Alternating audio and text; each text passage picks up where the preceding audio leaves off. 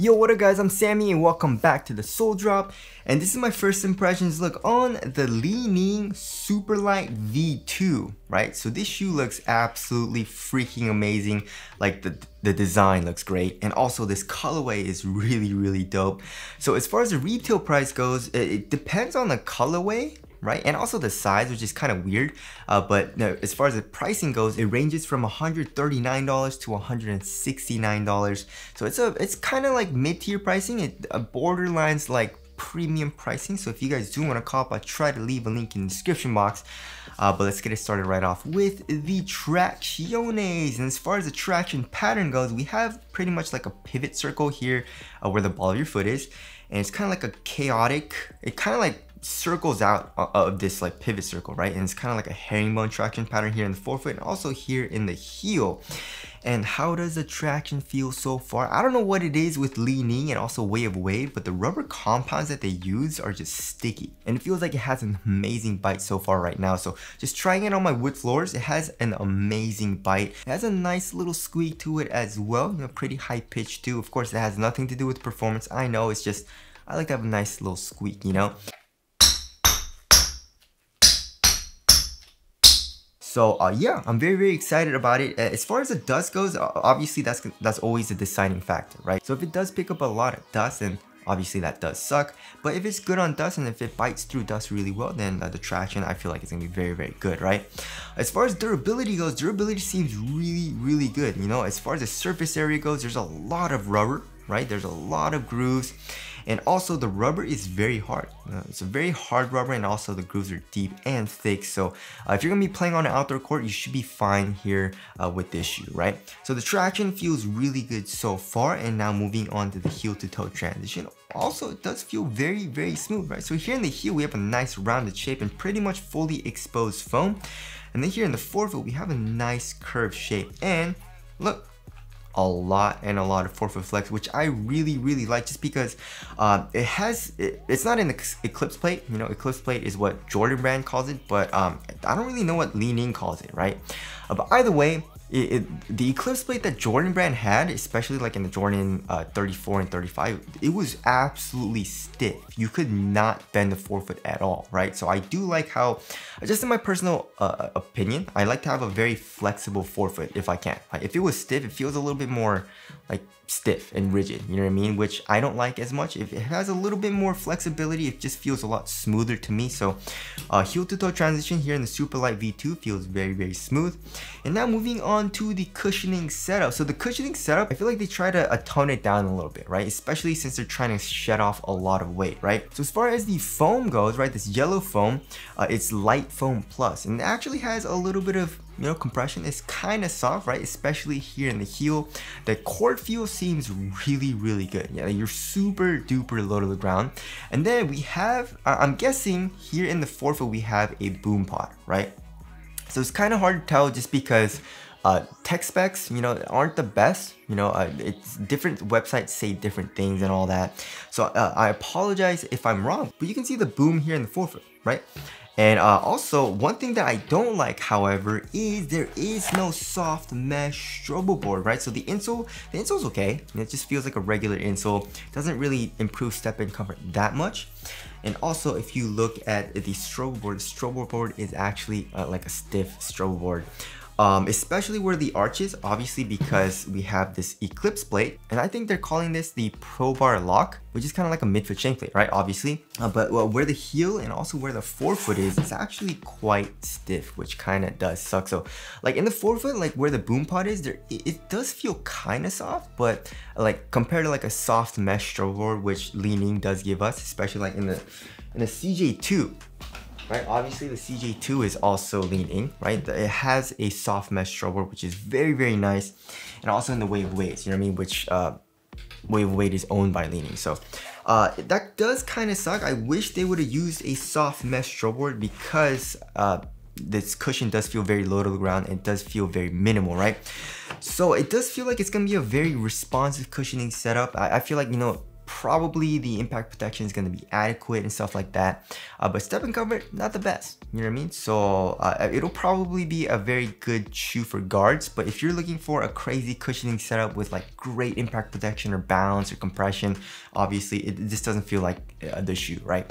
Uh, so there's that. Moving on to the materials. So they're calling this the boom fiber, which is pretty interesting, right? So yeah, it's like a boom silk upper. They're calling it different things, which is kind of weird, but it's pretty much they're calling it a boom upper, right? Which is weird because this is also boom. So uh, anyways, it's pretty much just like a, a, a, mesh material, right? And look, you, you can see how open it is. Look at that, right? So it is multi-layered, right? So you can see different layers of mesh, but super duper thin. And uh, ventilation seems freaking amazing, right? Airflow is really, really good through this material. So, and also look at that very very thin material right? Super duper thin. It doesn't feel like crazy glued down or rigid either it doesn't really stretch all too much too, so uh, it does feel supportive, but also it conforms to your foot extremely, extremely well. We do have some fuse, right, going around the like kind of the edge of the toe box a little bit. I wish it was a little bit more towards the edge, you know, if you're doing toe drags, it does give you a little bit more durability, but still feels pretty good. And then here in the midfoot, it stays extremely, extremely thin. And also they're calling this, it's like a carbon fiber cloth, right? Which is kind of weird. You can see a little bit of that carbon fiber like pattern. Uh, I mean, they're saying that it's for lateral containment, like lateral support. So I guess it does feel pretty, pretty rigid there, but Either way, I don't really think that does all too much. And as far as the tongue goes, the tongue, there's a, like an average amount of padding like on top of the tongue right here. And then underneath that, you have a very, very open mesh. Look at that. So a crazy good ventilation. It's also a half booty construction tongue, giving you a better overall one-to-one -one fit, right? So it keeps the tongue in place and all that. And then here in the ankle area, also crazy minimal padding, right? So like on the sides, there's a little bit like on top, and then also like in the Achilles, there's it's pretty minimal. And then this yellow part, right, this yellow material, it's kind of like a scratchy material, right? But only when you go up, right? So I'm, I'm guessing this will kind of like help grab your sock a little bit and improve lockdown a little bit because it does, it's kind of like a shark skin, right? So when you go one way, it's smooth. Like when you go down, uh, but then when you go up, it's kind of rough. So that'll probably help a little bit with like containment, you know, but for the most part, uh, it does. I don't really feel like there's any heel slippage or anything, but also this material feels really, really nice. If you if you want, obviously, if you want something cozy, if you want something like like thick and stuff like that, you know, as far as like the foam and the material goes, uh, this obviously isn't the best option. But if you're looking for a minimal material which does feel uh, supportive overall right now and has very, very good ventilation, then this is a great option. It almost kind of reminds me of Lenoweave. You know what I mean? There's some like plastic strands, it's kind of like interwoven between some other materials, you know what I mean? So I do like the materials, right? And moving on to the fit, I went up half a size and this shoe fits me really, really well, right? It pretty much fits me like a glove. It fits me perfectly.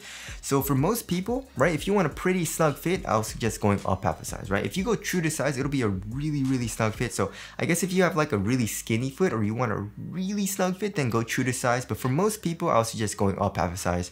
If you have a wide foot, however, um, probably go up a full size or maybe a full size and a half if you want a really, really roomy fit, right? Because this is a really snug fit and I went up half a size. So uh, here in the toe box, it feels snug and I do like that. I do have a feeling that this uh, boom fiber material is gonna stretch out just a tiny bit, however, once I break it in, but for the most part, it's a snug toe box here.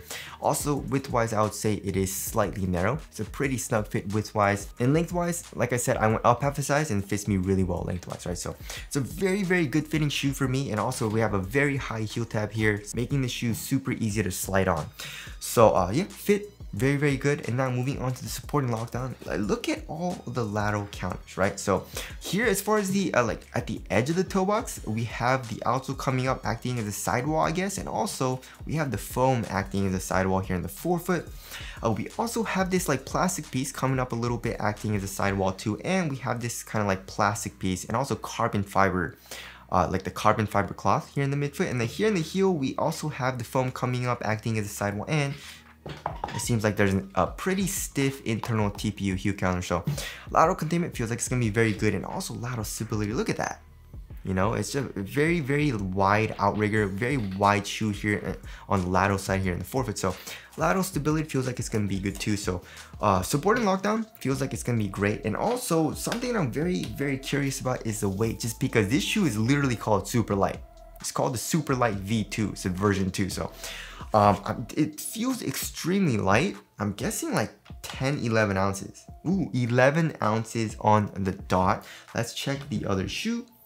11.1 ounces, right? So the average weight of my shoes is around 12 and a half ounces. So yeah, 11 ounces is, is extremely, extremely light. It's actually might be one of the lightest shoes right now available. Uh, if I remember correctly, one, uh, what was the lightest shoe? I don't remember what the lightest shoe was, but I remember the weight and I think it was like 11.1, 11.2 ounces. So this definitely does beat that.